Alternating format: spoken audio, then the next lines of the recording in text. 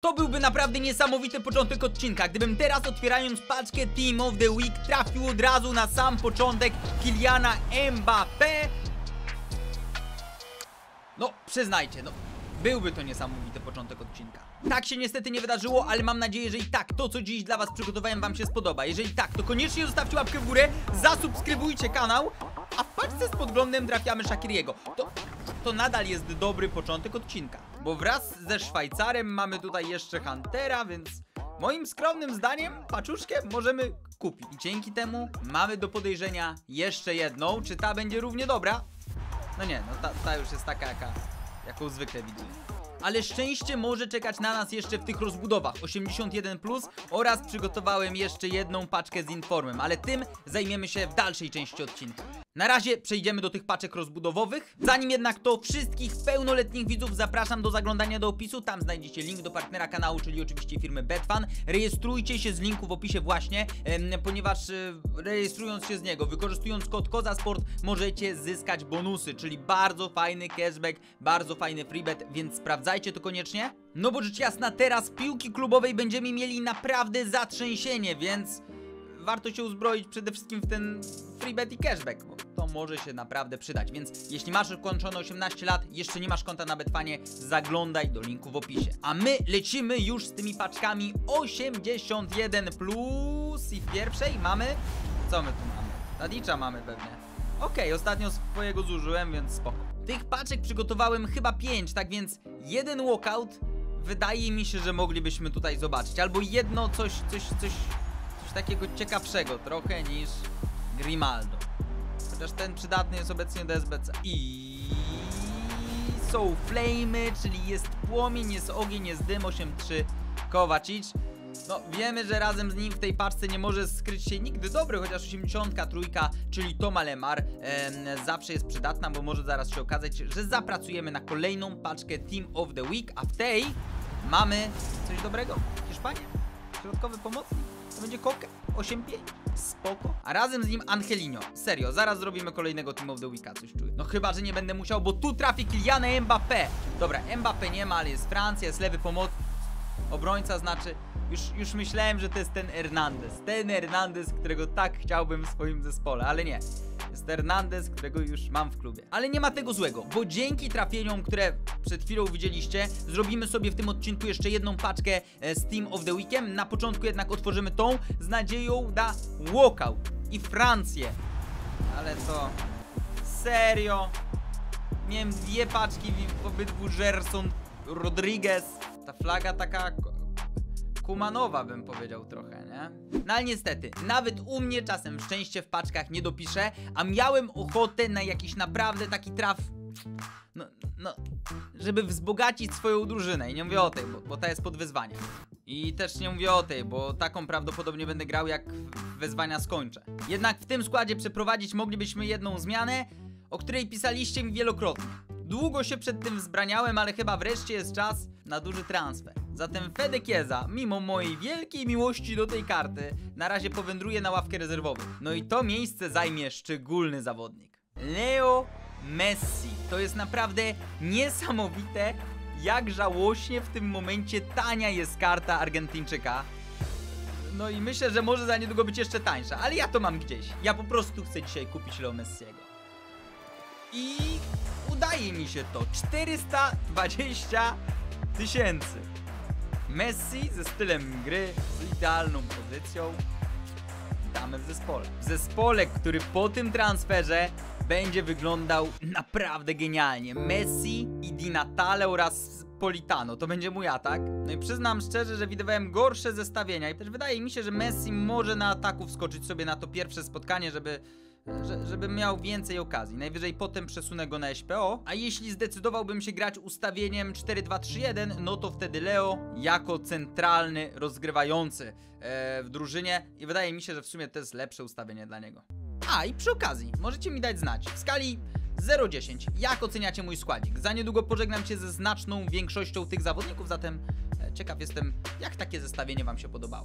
Tu mamy skład rywala, taki ciekawy, bo kolorowy, jeśli chodzi o kartę, ale nic nadzwyczajnego. No a ja, tak jak mówię, planuję zmienić drużynę. Wielu tych zawodników z wyzwań Eredivisie em, trafi do mojego składu. E, tymczasem, czy musimy to wszystko oglądać? Dziękuję. Widzę Ginole na górze i od razu spróbujemy dośrodkowania, ale w sumie pomyślałem o tym, że mam tam Messiego i Di Natale, tak więc dośrodkowywanie może nie być najlepszym pomysłem. No i jeszcze jest oczywiście Politano. Tak czy siak, z tych wszystkich panów ja miałbym największe szanse dojść do główki. Co nie świadczy o mojej ofensywie w powietrzu najlepiej. Uuu, nawet niezły strzał rywala. Wybronił to Perin. Szczęsnego gdzieś tam wykorzystałem na na SBC, więc stwierdziłem, że damy szansę Włochowi. Teraz Kimpembe rozpoczyna naszą akcję. Polita, e, Boże, nie Politano, tylko Di Natale do Politano. Teraz będzie Di Natale i czerwona kartka. E, Chociaż nie, no tak, czerwona kartka i karne. No, czyli mamy nawet podwójne karanie, ale nic dziwnego, bo Upamecano tutaj naprawdę przesadził. To co? Leo Messi, e, niech on podejdzie do jedenastki, chociaż dobrze wiemy, że to nie jest jego najmocniejsza strona i, i moja też nie. I Natale nie dał rady dać tego nad bramkarzem, ale dobrze. Teraz trzeba uważać, żeby nie nadziać się na kontrę. Chouameni przegrał główkę. Delikt także się myli, a to jest niepodobne do niego. I Mattia Perin nas ratuje w tej sytuacji.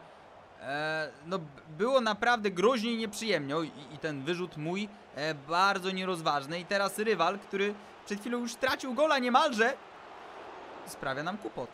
Świetnie. Barella. Tam Chouameni zahaczył już sędziego, ale to nie jest problem. Jest Barella. Jest Messi. Lewa noga uderzenie. Leo Messi. Jest pierwszy gol Argentyńczyka w naszym zespole. Pierwszy i mam nadzieję nie ostatni. No szybciej się przełamał niż w Paryżu. To trzeba przyznać. Ginola na skrzydle. Dużo miejsca ma teraz Politano, ale niestety e, no, no za długo zbierałem się do tego zagrania. Delikt nie może się pomylić, nie myli się i mamy szansę zacząć kolejną akcję, gdyby nie to, że nie mam pojęcia, co zrobił teraz Barella, e, Amavi, ty też się nie możesz pomylić chłopaku, dlatego najlepiej, żebyś nie kopał się piłką w twarz, to naprawdę pomaga, ale ale ja teraz to zepsułem i lecimy w drugą stronę, ponieważ odbieramy tę piłkę e, i Messi wychodzi na pozycję sam na sam, jeszcze odda futbolówkę. Messi, nie mówcie, że ja tego nie wykorzystam, czemu ja dałem lobik, czemu ja chciałem go jeszcze lobować, czemu? Oj, ale to będzie gol, Messi, Uuu, panie bramkarz, Gino, no nie, no serio? Politano rozpoczyna akcję z świetnym. Po... Aj, nie, jednak nie, a jednak świetnym podaniem do Di Natale. Dobra, zaryzykujmy. I to było złe ryzyko, dlatego musimy to wycofać. Jeszcze musimy to dać do Messiego. Messi, no w swoim stylu, wewnętrzną częścią stopy, ale nie tak precyzyjnie, jak tego bym się po nim spodziewał. Dobra, klasyczne zagranie klubu Koza FC. Piła na Delikta i Delikt wygrywa główkę i strzela bramkę. Najlepszy zawodnik grający głową, jakiego miałem w jakiejkolwiek Fifie. Serio, Delikt to jest latający Holender, dosłownie. No, to był udany debiut Messiego, trzeba sobie to jasno powiedzieć. No to tak jak obiecałem, teraz czas na paczki. Zatem Barca Benfica zrobione, Manchester PSG także, zatem ważne mecze UEFA mamy zrobione i może tam coś trafimy. Nawet jeśli mają to być bezpośrednio fajne karty, to niech będą karty, które możemy włożyć do SBC. Aj, o Informa. No, Hatebora lubię, więc zawsze cieszy, się cieszę na jego widok, no. O, Inform. Super. Spoko. Tam musiałem kupić parę kart, więc y, właśnie nam się ta paczka zwróciła. Y, znaczy, cała ta zabawa w SBC. F fajnie.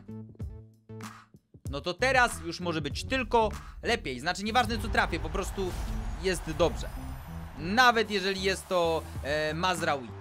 Spoko. Tym bardziej, że Mazraoui prawdopodobnie cały czas coś kosztuje. W dodatku trafiamy zawodnika z e, Ligę, a to jest cały czas zysk. Trafiamy zawodnika z Eredivisie. E, to jest trochę mniejsze, ale także zysk. Zatem słuchajcie, trzeba pozytywnie patrzeć na te karty, na te paczki i, i wtedy życie jest szczęśliwsze. Albo po prostu wtedy my jesteśmy bardziej szczęśliwi. Ostatnia z tych paczek za ważne mecze? Moody? Okej, 8-3 do SBC. Tak więc to jest SBC, w którym trafiamy Kiliana Mbappé. To jest pewne. Zresztą, jeśli nie wierzycie, to patrzcie i płaczcie. Kilian Mbappé, bonjour. To jest Angisa? No. Chyba nasz najlepszy draft do tej pory dzisiaj. No ale nie jest to Kilian. No i powiem szczerze, to już jest ostatnia paczka z y, informem, jaką zrobię w dzisiejszym odcinku, bo po prostu nie mam więcej kart. Tak więc jeżeli mamy trafić Kiliana Mbappé, to w tym momencie, bo innego nie będzie. No to nie jest Kilian. Ale idziemy w górę z overallem. Chciałoby się zrobić jeszcze jedno. Ale czasem trzeba powiedzieć sobie stop, czasem trzeba powiedzieć sobie dość i zadowolić się tym, co się ma. A w moim klubie dziś pojawił się Leo Messi, więc naprawdę mogło być zdecydowanie gorzej.